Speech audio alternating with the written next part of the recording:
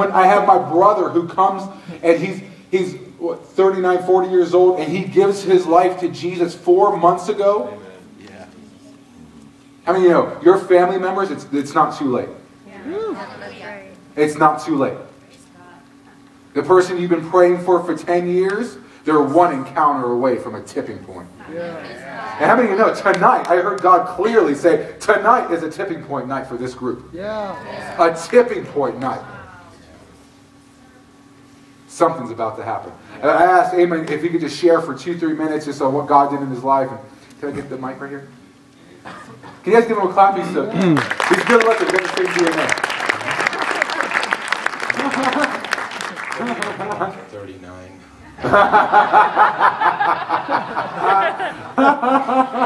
I've never shared my testimony publicly with anyone. First time.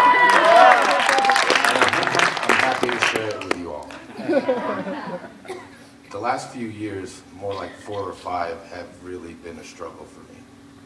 Unlike any other time in my life. This year especially, the Lord has softened my heart. I get emotional. These are tears of joy. you know, the embracement of the Lord around my heart. I've struggled and was trying to fill the void to my life. I know that sounds like a cliche, but it's absolutely true. I was looking for answers in all the wrong places. And just one day, a friend of mine put me on to something. Took me to church. And I was invited. That day, the worship songs were directed to me. they hit home on every word, every note. And I accepted the invitation. And I gave my life to the Lord. Shortly after, I, evalu- I, I evaluated myself through the things that I was reading, thinking I was a good guy and a good person. What have I done wrong? And I recognized how much of a sinner I was. How many lines I've crossed. How many lies I've said. Once I recognized and realized Jesus died on the cross for me,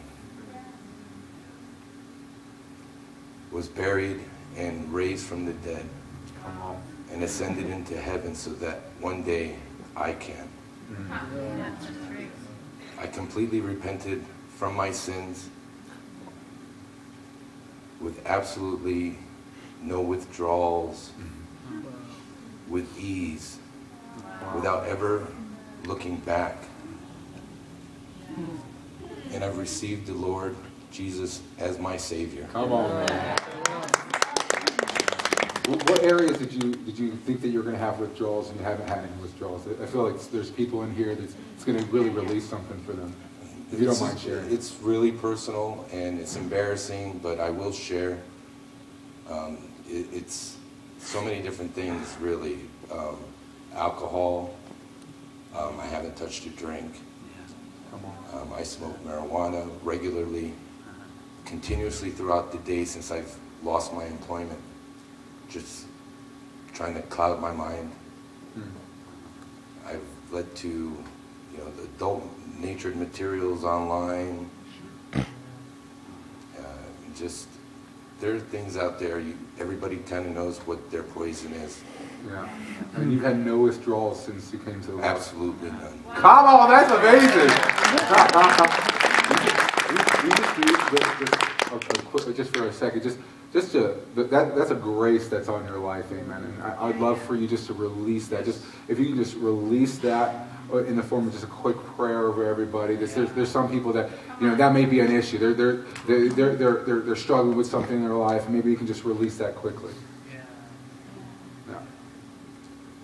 Lord,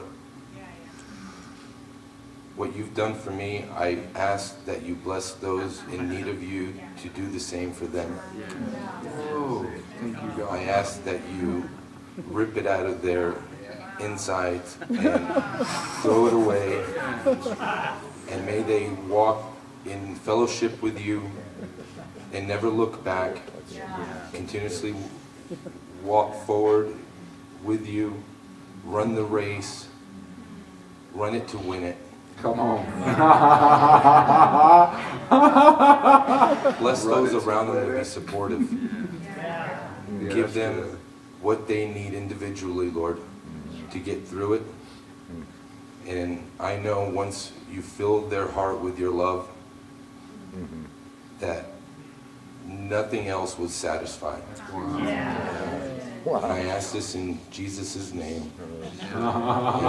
Amen.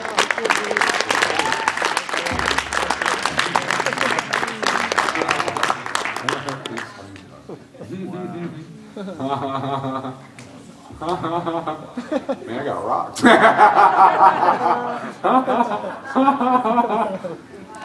Run it to win it. Someone's gonna make a T-shirt out of that.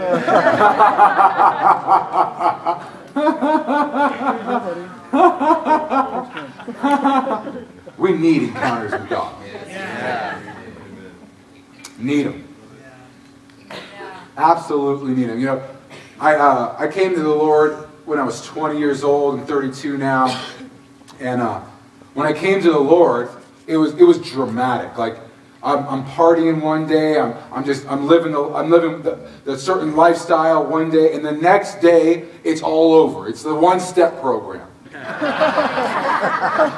was it. I took the one step program right towards Jesus. Boom, done. Everything was done, and that day was February 25th, 2001. That day was a marked day in my life. You know, I, I, I uh, wasn't I wasn't going I wasn't a church going person. I grew up in the Greek Orthodox Church.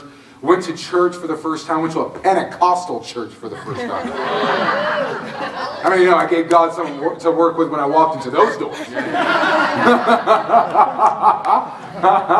Walk in the church, my buddy drags me there. I'm, I, I'm not smelling good and I'm not looking good. You know, I got my four hours sleep. Ah, who gets up this early on the Sundays?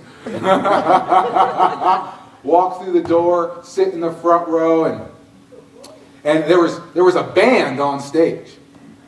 I had never seen that before. Like a band at church. What's going on here? Did I, did I come to the wrong place? You know what I mean? I grew up in an Orthodox church, very similar to Catholic, and, and I'm like, this is this is all so different to me. Then this preacher gets up.